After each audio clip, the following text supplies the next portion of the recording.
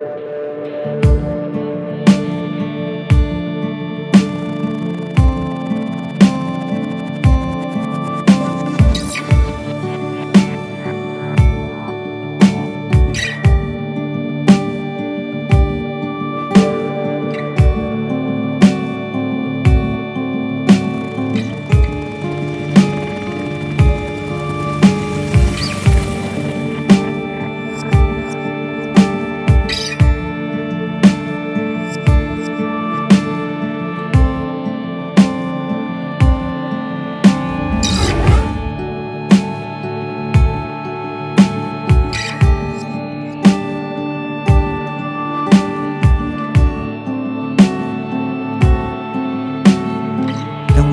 stars for the cause of your misfortunes.